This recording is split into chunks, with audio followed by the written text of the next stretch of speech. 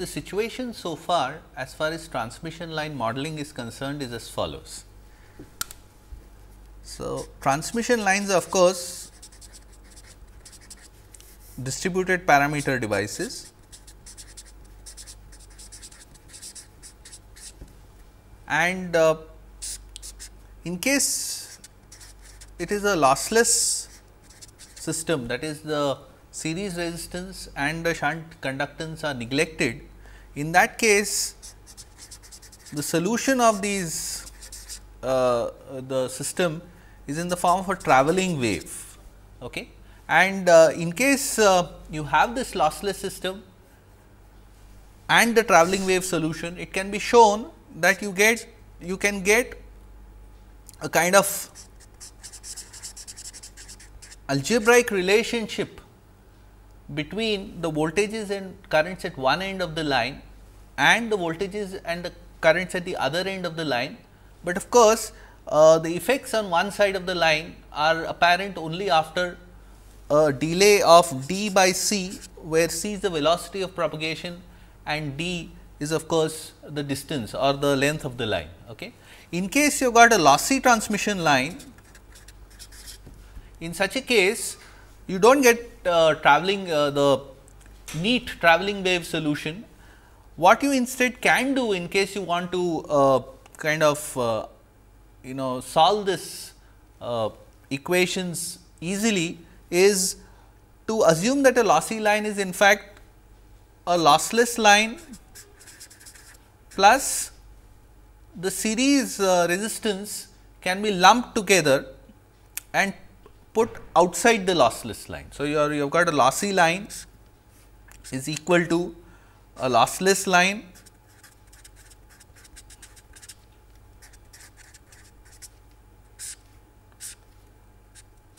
plus the total series lumped resistance can be taken out. So, this is uh, kind of a approximation.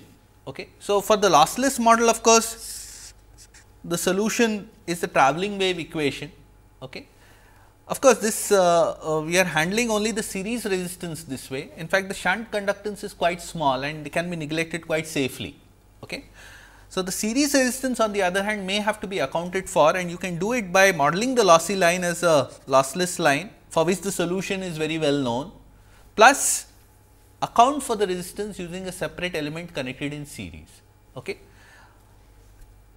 Interestingly enough, the model of the travelling wave solution for a lossless line makes uh, a transmission line model easy to interface with the discretized equations of the lumped dynamical elements connected to the transmission line. For example, like capacitors and inductors etcetera, you have got a lumped differential equation, uh, continuous time differential equation. When you discretize it uh, using trapezoidal rule or uh, any numerical integration technique, you get algebraic equations. So, algebraic equations obtained in that context are slightly different from what you get here. In fact, there is no approximation once you get the travelling wave solution the algebraic relationships which uh, uh, you know kind of relate the sending end and the receiving end are in fact uh, exact uh, you know representations of the solution. Okay. So, that is one uh, important and interesting point. Another interesting point was that the steady state solution for a lossy line and of course, also for a lossless line, the sinusoidal steady state solution Okay. The sinusoidal steady state solution of a transmission line effectively allows one to represent a transmission line as a two port network with lumped impedances and admittances. Okay. So, this kind of model can be obtained which is valid under sinusoidal steady state conditions. Okay. This is a lumped model of a transmission line. Okay. Now, what we showed in the previous uh, lecture was in fact the travelling wave solution of a transmission line and the solution numerical solution or even analytically obtained solution for this LC circuit lumped LC circuit are close to each other, but not the same. In fact, there are some notable differences, but if your interest is only in low frequency behavior, you can model a transmission line by lumped parameters of this kind like like this uh, circuit. Okay. But remember that the lumped circuit in, in effect came from the sinusoidal steady state solution. Okay. So, it is a, a nice thing that at least for low frequency behavior one can use this uh, two port net uh, equivalent sinusoidal steady state equivalent to actually derive a lumped parameter dynamical model of the system. Okay. So, it is a, it's a, it's a nice thing because it simplifies at least in certain circumstances our analysis. The other thing which we discussed in the previous class was when you have a three phase a coupled line okay a three phase phase lines yeah inductance matrices uh, and capacitance matrices are in fact coupled okay but if it is a symmetrical three phase system what we saw was one can use uh, transformations okay in fact you can use uh, the dq transformation and actually get a decoupled representation of a transmission line. That is, if you recall what we did last time, for example, if you take a simple inductive element which is coupled, you know, in this fashion.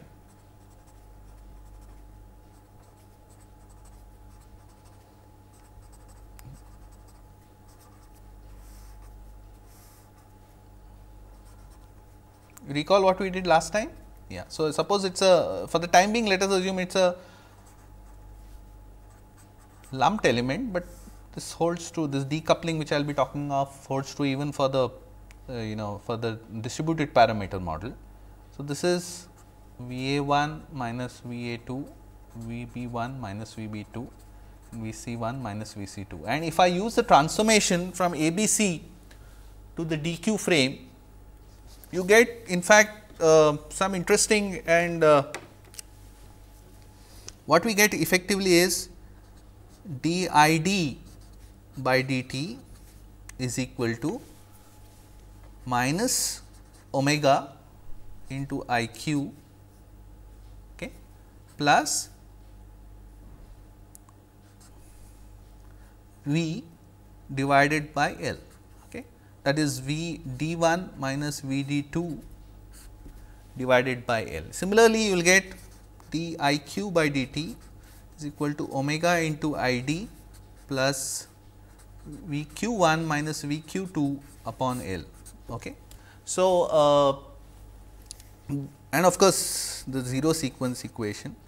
So, I will call this in fact L plus L minus and this is uh, you will get V 0 1 minus V 0 2 divided by L 0. In fact, L plus equals to L minus is equal to L s minus L m and L 0 is equal to L s plus 2 L m.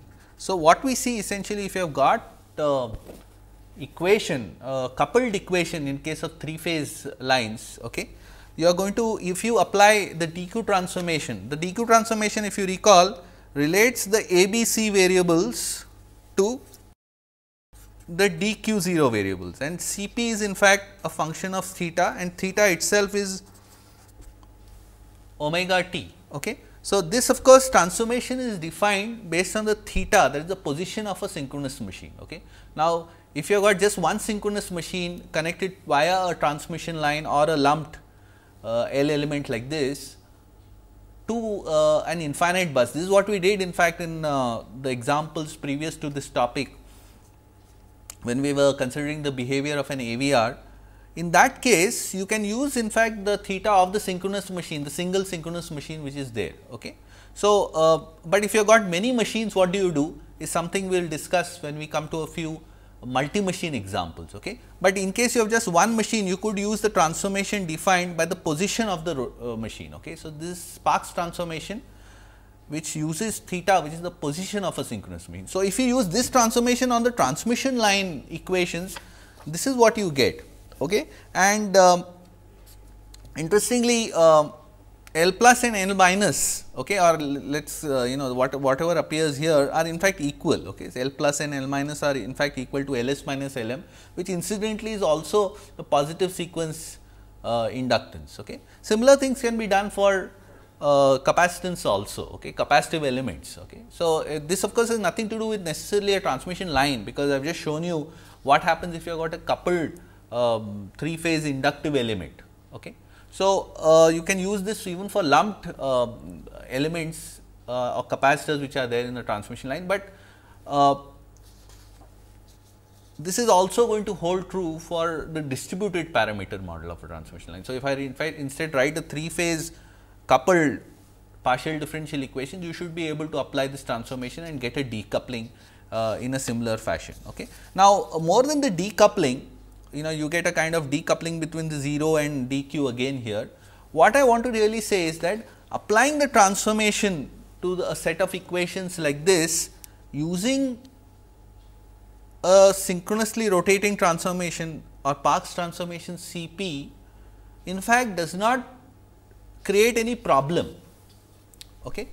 What do I mean by that? See, uh, whenever you are interfacing a synchronous machine okay, via say a transmission line or a lumped inductive element to say an infinite bus, remember that whenever you, are, you have formulated the synchronous machine equations in the Park's reference frame, okay, if you want to interface the dq variables obtained of, uh, in, uh, of the synchronous machine with the transmission line, okay, what you really need to do is really also get the currents of the transmission line in the DQ frame. Okay. So, this is exactly what, what we have done so uh, here. Okay. This is exactly what we have done here. We have got the currents of the transmission elements in the DQ frame and this may be easy to interface or it is easy to interface with the synchronous machine model eventually. Okay. So, this is one thing which uh, you should keep in mind. An interesting thing is that if I set d i d by dt and d i q by dt equal to 0, what we have essentially 0 is equal to minus omega i q plus v d 1 minus v d 2 by L. Uh, in fact, I will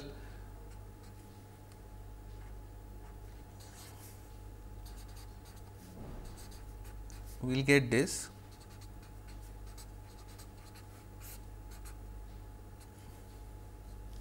So, what we have essentially is if you look at these equations what they are really telling you is I q plus j i d this is just a compact way of writing these equations. I have just combined these two equations you can just verify that this is true is equal to V q 1 plus j V d 1 minus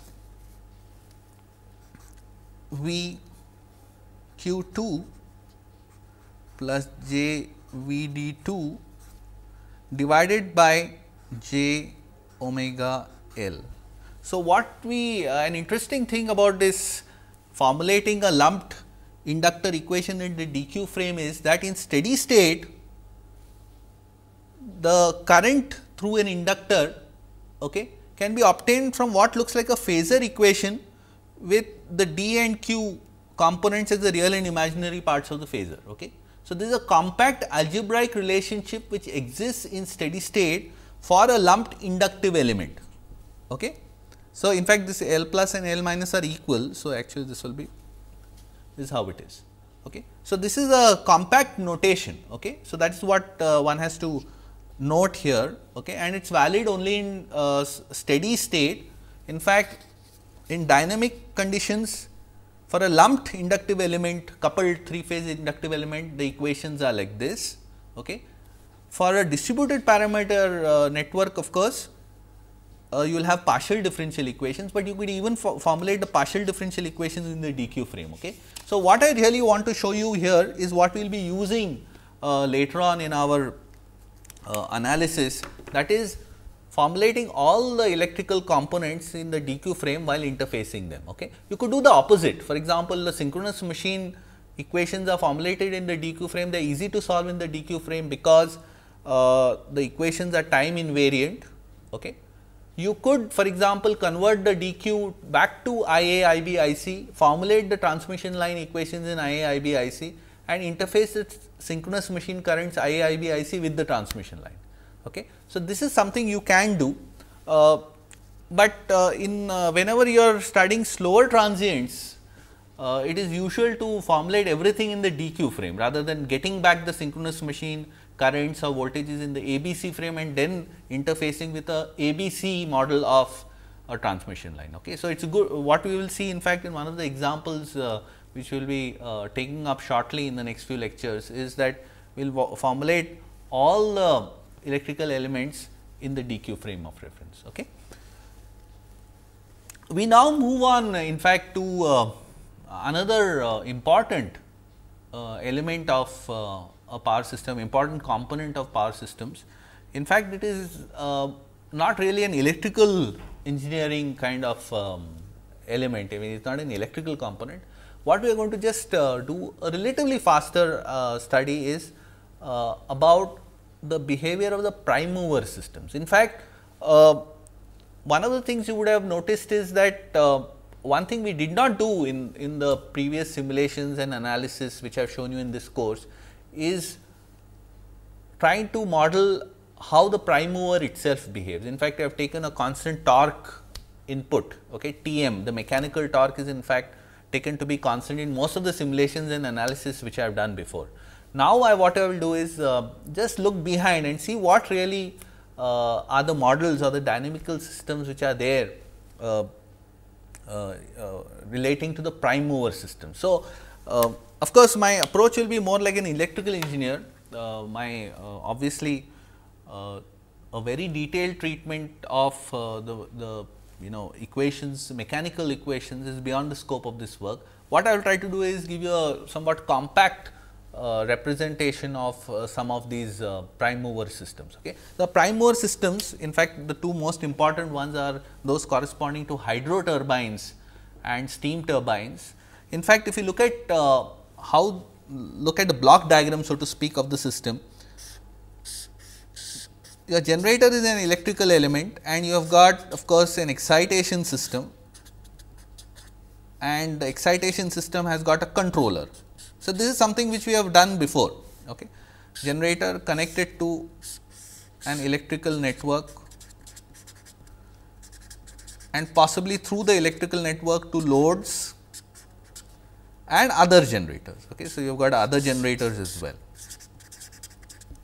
Okay.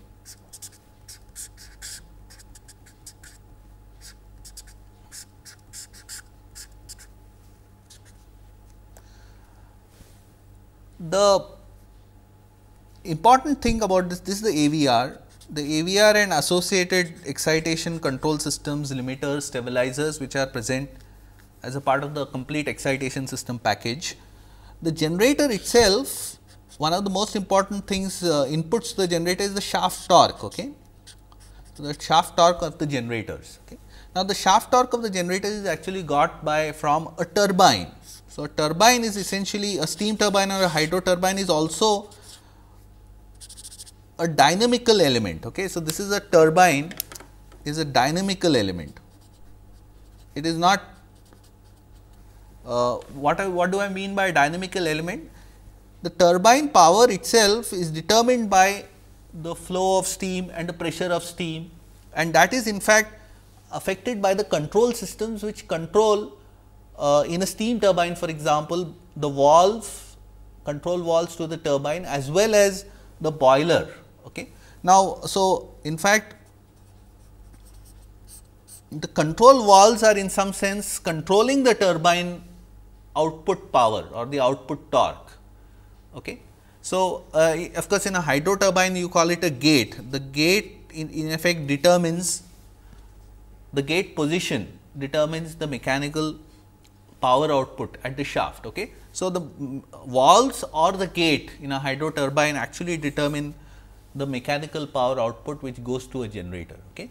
Now, remember that uh, in a steam turbine or a steam uh, power generating station, just the valve position of course, does not determine the mechanical power. In fact, if I want to increase the mechanical power, I would also have to uh, you know increase the fuel in the boiler Okay. So, uh, this is in fact a simplistic way of saying that only the valve control affects the mechanical power, but for a short while yes, just by controlling the steam input, okay, to the turbine through a control valve one can actually change the mechanical power. Eventually of course, you will have to adjust the fuel input also otherwise the pressure will change. Okay. So, the turbine is a dynamical element in the sense that if I change the valve position here, okay, the effect on the mechanical torque is actually felt um, after some time. In fact, it is uh, uh, determined the behavior is determined by a set of differential equations. Okay. So, in that sense a turbine is a dynamical element.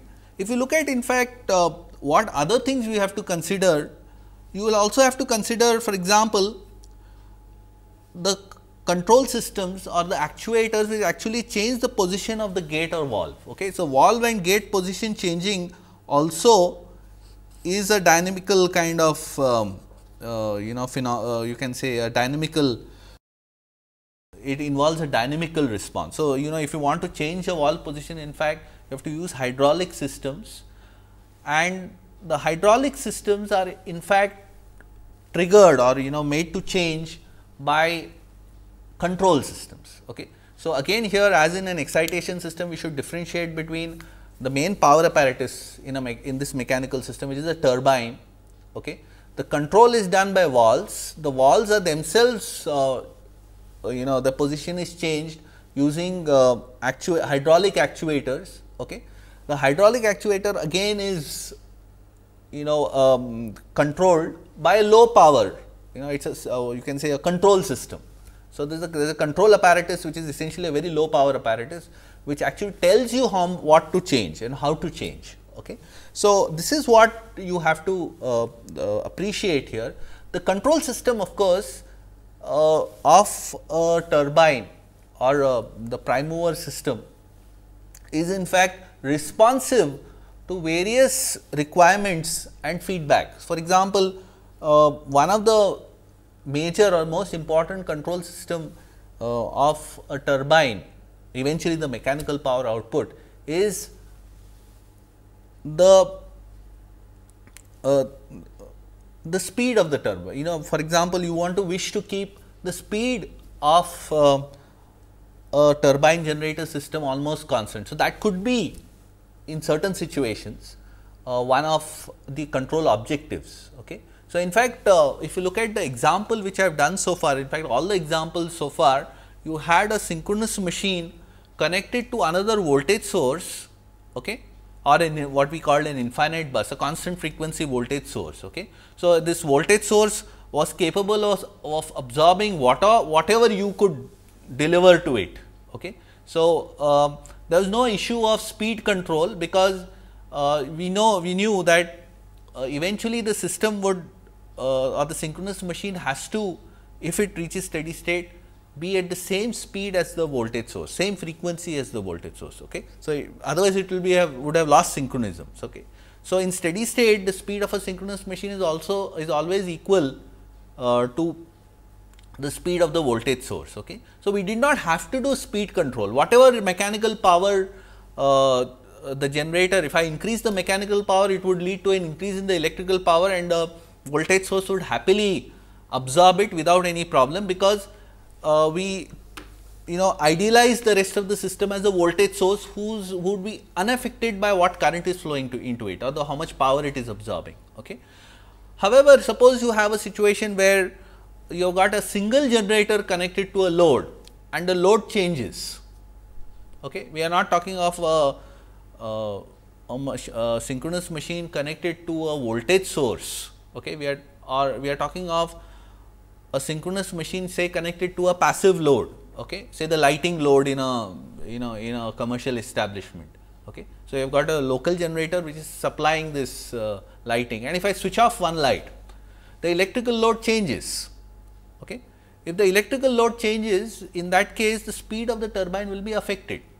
Speed of the turbine and the generator will be affected and under such circumstances where you can isolated generators connected to passive loads, you have to do some kind of speed control. So, one of the control objectives of a, a turbine generator system or, or, or, a prime mover system is to control the valve position so as to control the speed of the machine. Okay. So, um, in fact, uh, if you got many generators pooling in their power into a grid and supplying many loads, you have to in a coordinated fashion, in a coordinated fashion control the speed of uh, uh, the generators. Of course, all the generators eventually settle down to the same speed and uh, your control system, the prime mover control system should be such that any change in load which will result of course in the change of speed of generators would be compensated or controlled by changing the valve position okay, or the gate position and enhancing or reducing the torque so that eventually there is a load generation balance. Okay.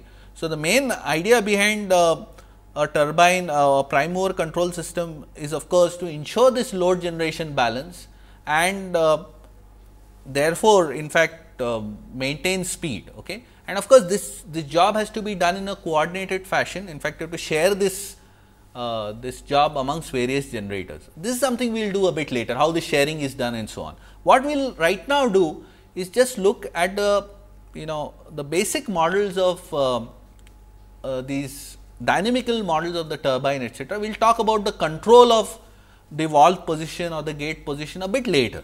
Okay. So, one thing you should uh, appreciate here is looking at uh, we have to model uh, a turbine by a dynamical model and of course, that in involves differential equations or in case the system is linear you can actually represent it compactly using transfer function. So, when I show you a transfer function of course, it is indicative of the underlying dynamical system or differential equations. Okay. Now, uh, the, the point here of course, which you should note is uh, this uh, model which is shown here of a hydro turbine is extremely simplified. Okay. extremely in the sense that first of all this is a, a kind of a linearized model of the hydro turbine. Okay. No nonlinear effects are considered. A second thing is uh, the second thing is that you are assuming the you know water falling through the penstock to be a kind of rigid motion. Okay. We are not considering any of the elastic effects or travelling wave effects. Okay. So, this is a very simplified model, we will not derive the model itself from first principles, what we will do is take this transfer function as our uh, model of a hydro turbine, but remember that this uh, model is valid only for small changes in the gate position. Okay. Now, one of the striking things about a hydro turbine model is that it is non minimum phase. In fact, it has got a 0 in the right half plane. Okay. If you look at the transfer function is 1 minus S T W upon 1 plus 0.5 S T W. Okay. This is the transfer function of a hydro turbine. Okay. Now, of course, you may say well it does not seem to have any gain at all. You know if you look at the steady state gain it is 1. The reason why it is so is of course, that we have normalized the equations. Okay. So, when I say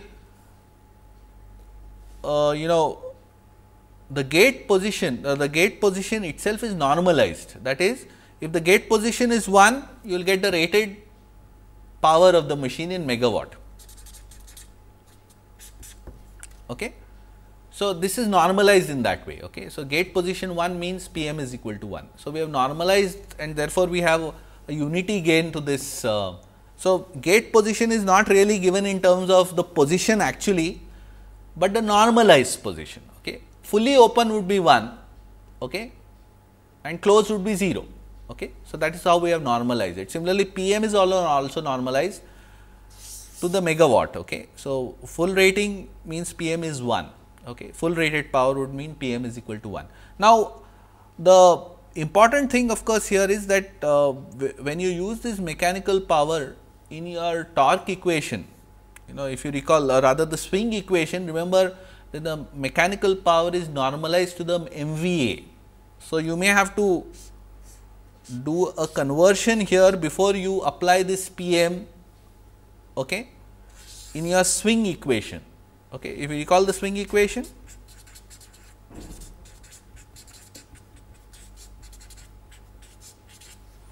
and if your speed is near the synchronous speed, this is nothing but P m minus P e in per unit. Okay. So, T m and P m are almost the same if your speed is near about the synchronous speed. Now, uh, the rated speed, I should not say synchronous speed, the rated speed okay, of the machine or the base speed of the machine. Now, remember that this PM and PE here are in MVA base. Okay. So, if your PM here is on MW base if you use this. So, you have to use an additional conversion to actually convert this PM dash to PM. Okay. PM dash is on normalized to the megawatt of the machine. So, this is a, a small point, but an important point. Okay. Now, if you look at this transfer function as I mentioned sometime it is non minimum phase it has a 0 on the RHP okay. That is the one of the zeros is yeah it is is on the right hand side of the complex plane which also means that if I give a step change suppose it were possible to give a sudden change the gate position okay I increase open the gate okay. In such a case the behavior is very interesting and odd okay if you look at the steady state gain of this how do you get the steady state gain just put s is equal to 0 here okay so if I give a step change the steady state gain to the step change is 1 because if I put s is equal to 0 here you have 1 by 1 which is 1. Okay. Now, but what is the transient gain? The transient gain is obtained by trying to put s tending to infinity here in this transfer function. What you will find is the transfer function gain is negative. Okay. In fact, negative it is minus 2. The high frequency behavior or the transient gain okay, is minus 2 whereas the steady state gain is plus 1. So, what you can expect is that if I give a step change in P G V, the mechanical power in fact okay, goes down suppose this is 0 and 1 in that case this will go down by to minus 2 and then rise with a time constant of T w to 1. Okay. So, in fact, I have not drawn it very well to scale. So, I will just do, do it again.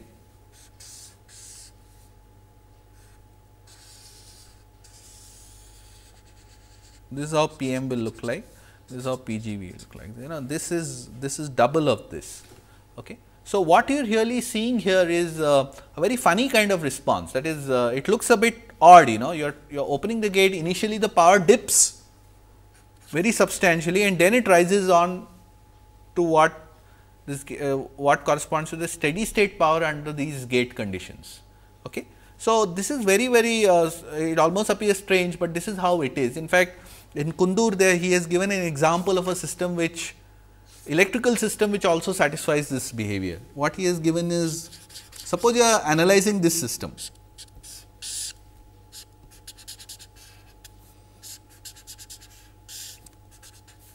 Suppose the system is in steady state initially. Okay. So, if this is V, this is R and R, the amount of uh, power flow is of course V square divided by R by 2. Okay. This is the power dissipated. Now, in this system also if I suddenly disconnect one of the resistances, okay, what is going to be the steady state power? It is going to be square by R. Okay. So, this is the steady state power before after. But as soon as I disconnect this, as soon as I disconnect this, note that since you have got an inductor here, the current here is going to be constant for some, uh, is not going to change instantaneously. Okay. So, what is your current bef just before the switch opens? V divided by R by 2. Okay. So, as soon as you open the switch, the current instantaneously does not change and flows through this resistance. So, the amount of power flow is in fact this. Okay. So, just as you open this switch, your power flow in fact becomes is, is in fact what is it? V square, yeah, no, I am sorry, yeah, V square divided by r square by 4 into r. So, that becomes v square divided by r into 4. So, what happens is initially your power in fact what happens to the power? Well, initially what happens is as soon as you open the switch the power in fact increases and then decreases. So, this is before which is a high value, this is a low value. Okay. So, what you see is that although the final power is lesser if you open this switch, as soon as you open the switch the power is in fact increased. So, the, the direction to which it finally settles down to in this case by opening the switch you are reducing the power, but as soon as you are opening the switch the power in fact increases. Okay. So, this you know ulta behavior or, or opposite behavior okay, is actually similar to what you are observing in this hydro turbine model. Okay. So, this is one thing which uh, is interesting. Okay. If you look at uh, steam turbines on the other hand, okay, let us uh, let us discuss a common configuration in steam turbines. In st a common configuration is the valve determines the steam flow and uh, the valve position in fact and uh, you have basically steam chest.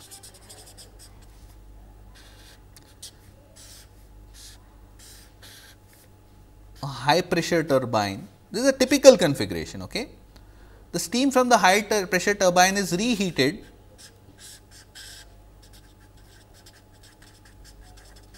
Pass through an intermediate pressure stage, this is another turbine, then there is some crossover piping. And it feeds a low pressure turbine. So, this is one of the possible configurations which you can have. All these turbines, okay, the high pressure, intermediate pressure and low pressure turbines are in fact mounted on the same shaft. So, you have got these three uh, you know stages of uh, three turbines mounted on the same shaft as a generator. Okay. This is called a tandem compound. This is a tandem compound configuration for a steam turbine. Okay. You have other configurations, we will not consider them in this course, but you can just have a look of look by reading up uh, some of the books reference books which I have uh, given at the beginning of the course. Okay. So, we will just uh, restrict ourselves to one of the possible configurations of a steam turbine. Now, so in a steam turbine here, this is the normalized valve position. Okay. This is the dynamical model of the steam chest. Okay. The steam uh, then goes to the hydro high pressure turbine okay, because of which you get certain the hydro turbine has a certain power output, the high pressure turbine I am sorry, the high pressure turbine has got a certain power output. The intermediate pressure turbine also contributes to some power and the low pressure turbine also contributes to some power, but the steam which is emanating out of the high pressure turbine in fact uh, is reheated and there is a time constant or a dynamical process involved in this okay, which is represented by this transfer function. Okay. Again the steam which is coming out of uh, the intermediate pressure turbine has to go through the crossover piping which also has got uh, dynamical behavior. It is not has got a certain time constant TCO. The reheat time constant is relatively large. Okay. FHP, FIP and FLP are giving you the fractional component of the total power which is seen at the shaft. Okay. So, each of these turbines contributes to the total power in this ratio okay, 0 0.3, 0 0.3 and 0 0.4. Of course, you see that it adds up to 1. So, it is basically telling the ratio in which uh, each of these turbines contribute to the total shaft power which is P m. Okay. Again uh, remember P m is normalized to the megawatt rating of the machine. You may have to convert it to the MVA base uh, when you are uh, using it in your swing equations. The gate position in fact or the valve position here is uh, determined by the control system. Okay. Now, of course, uh, if you look at the you know representation given here it appears that the valve position is the sole determinal uh, determining factor in uh, the mechanical power. In fact, it is not so.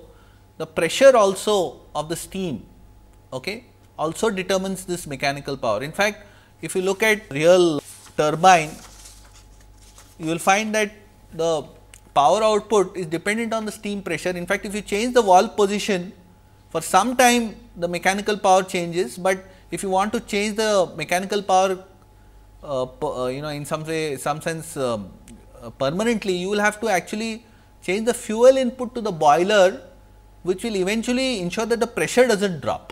So, you open the valve the pressure if you keep it open for some time you will find the pressure eventually will drop. So, any change in mechanical power actually requires you to change the boiler fuel and other inputs. Okay. So, that is what is uh, important, but for most studies which you are going to do uh, especially related to uh, short term behavior in the sense of a few seconds, you can assume that the mechanical power is solely determined by the valve position. Okay. But if you are seeing, uh, if you are seeking long term behavior of a system, of course, you should consider the effects of the boiler or the dynamical response of the boiler in maintaining the steam pressure as well.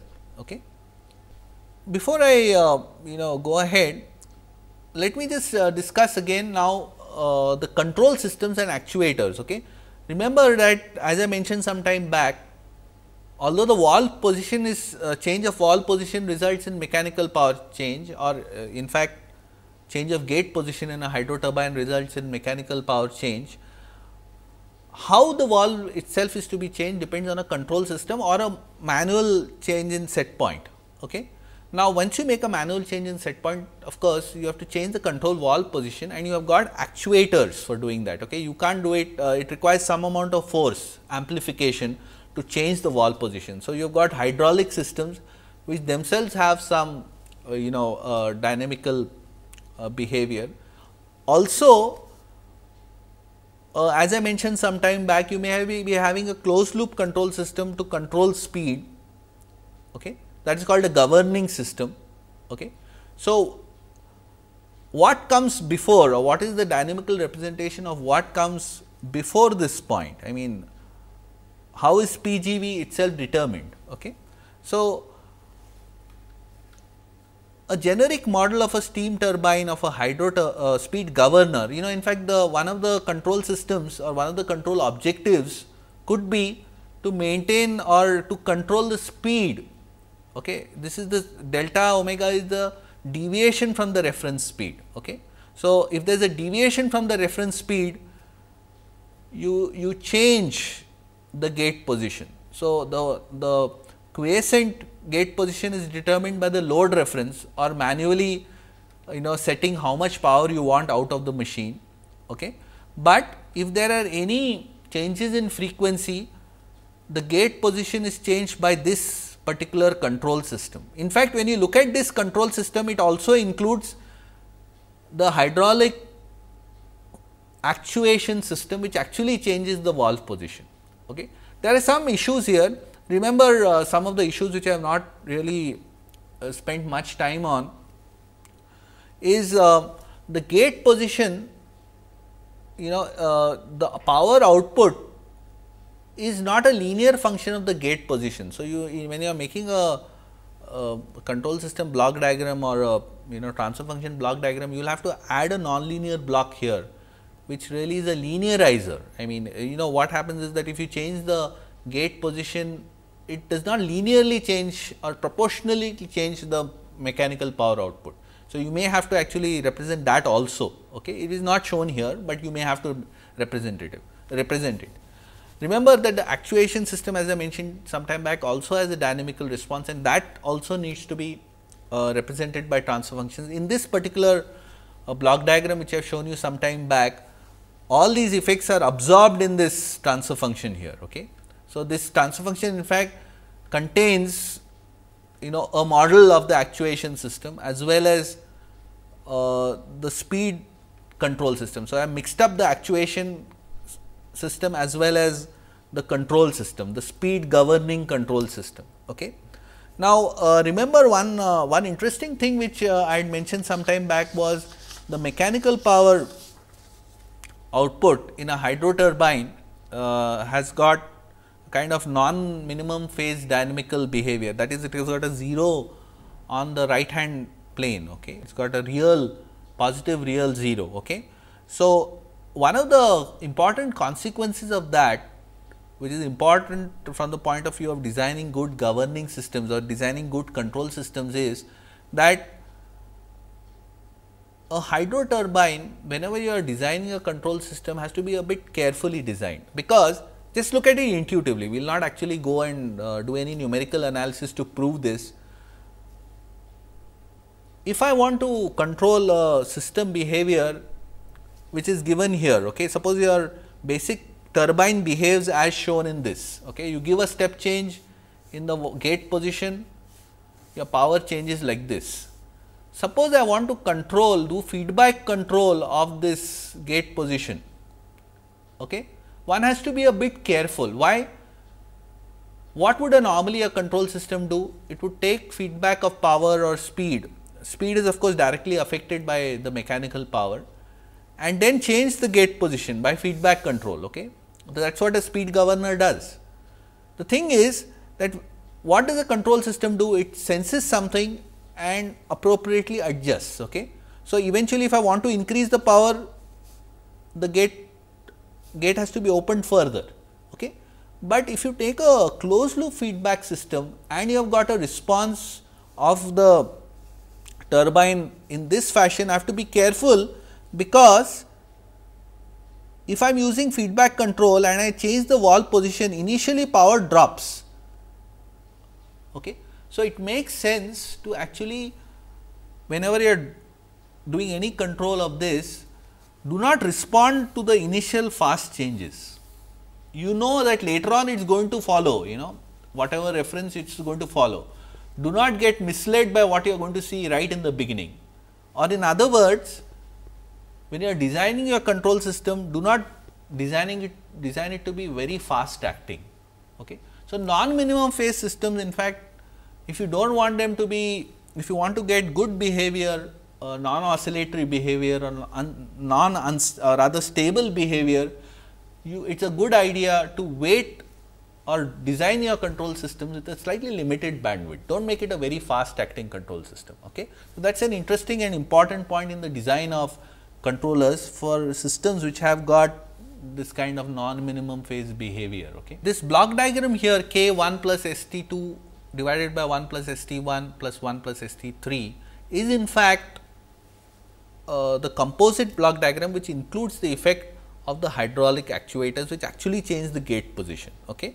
It also includes of course, the governor control system and uh, one of the important things in hydraulic turbine governing systems is that because the non minimum phase behavior of the turbine, okay, you have to deliberately design your governing system to have a low gain uh, during transients and later on of course, it can have a high gain. So, initially you ensure that it is not so fast acting.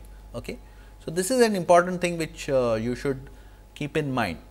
Of course, this is a if you look at this control system the overall block diagram of the control system and the hydraulic um, you know servo motors or actuators, you will find that it is a kind of proportional kind of uh, the you know there is a finite steady state gain. So, it is a kind of a proportional control of mechanical speed.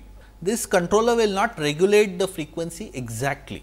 Okay. So, this is something which you have to keep in mind.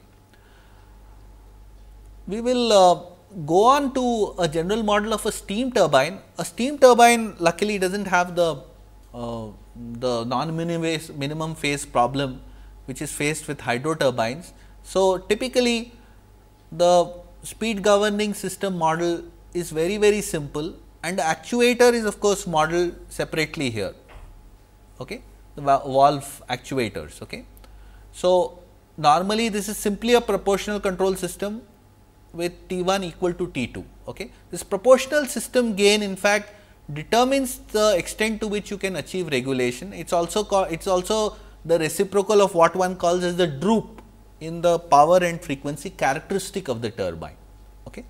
These some of these things will become clear when we consider an example uh, later on. We will uh, stop at, uh, at this point and uh, consider a few more points relating to uh, the prime mover systems uh, in the next class and then we will go on to a example which will require us to model the prime mover systems. What we will do is actually in the next class handle or introduce you initially of course, we will take more than one lecture to analyze the whole thing completely, introduce you to a the transients in a two machine system, okay, where we will be actually modeling uh, even the turbine and uh, governing system. Okay. So far, we have actually uh, in our discussion of automatic voltage regulators thought of only or really discussed only single machines connected to infinite bus where frequency eventually reached an equilibrium which is determined effectively by the frequency of the voltage source which we of course assumed it does not change. When you have got do not have this infinite bus or a voltage source in that case frequency is in some sense determined by the speed control systems that we have. Okay.